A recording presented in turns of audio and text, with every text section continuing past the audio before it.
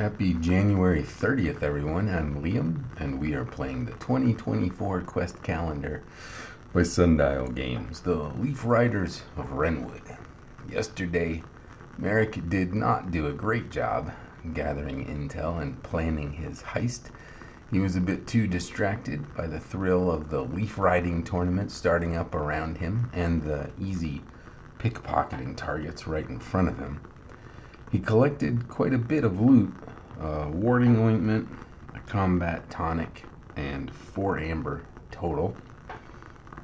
But he wants to become a member of the Thieves Guild, and to do that, he's going to have to focus on his mission. He needs to get into Crownspire Castle and obtain a leaf from the Tree of Seasons in the midst of the festivities of the Leaf Turning Festival.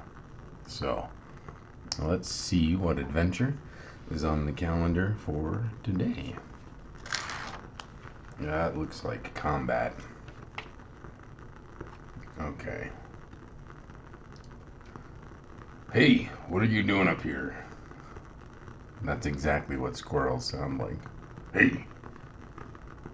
Just as the next contest round is about to begin, two guards have spotted you.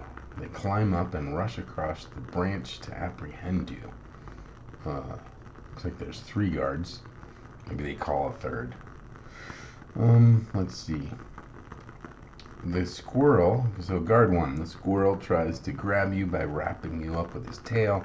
Guard two, the guard throws his twig spear at you. Guard three, the chipmunk tries to tackle you. There's a chipmunk piling on.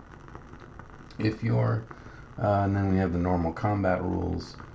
um, and then uh, looks like you leap off the branch and sail into the leaf riding competition. So assuming assuming we survive, uh, two, three, four, five. Yeah, they're not gonna. We have ten health, so in the worst case, we'll only be half dead.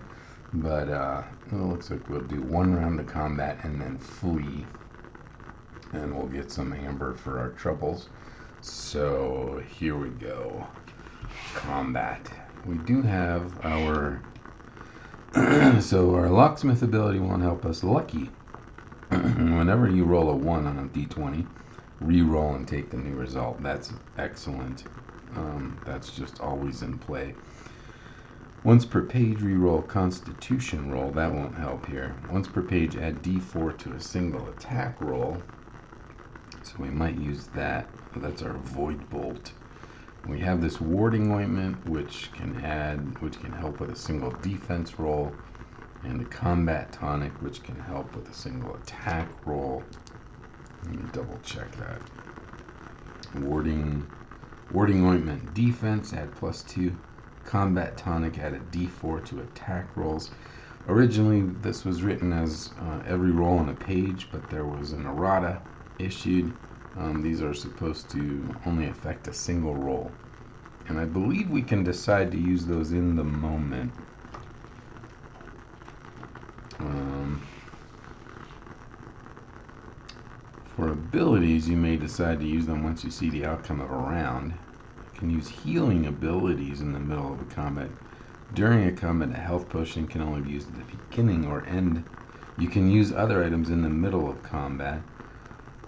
I don't know what middle of combat means.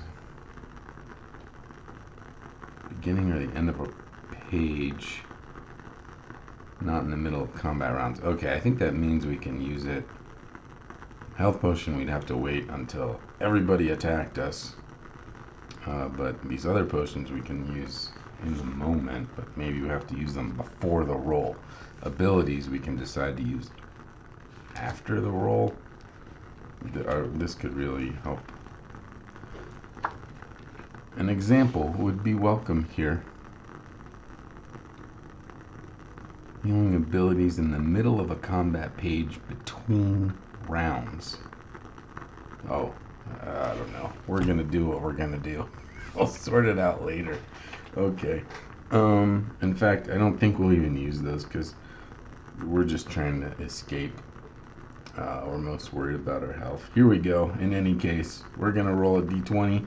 Our attack roll um, is 10, plus 1 attack is 11, that is enough to overcome the guard's defense. Now we'll roll damage, which is a d10. Uh, where's my d10? Here it is.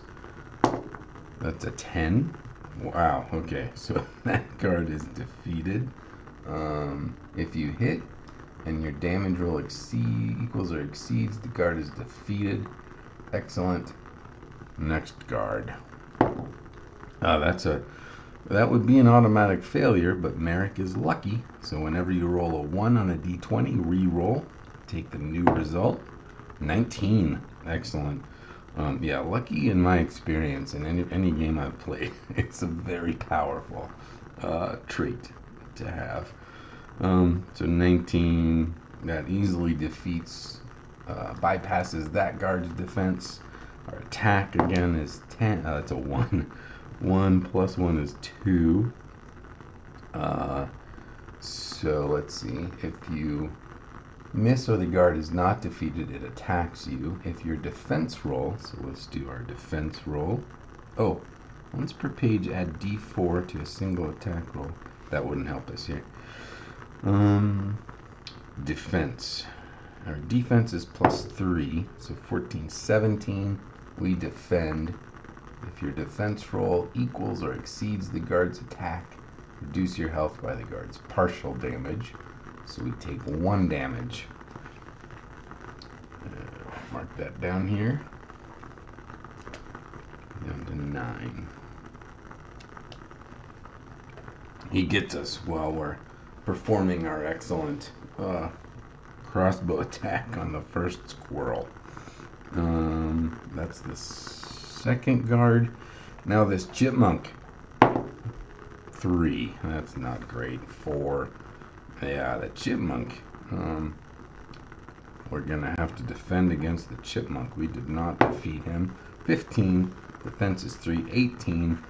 That easily overcomes his attack of 10. So, we defeat two of the guards.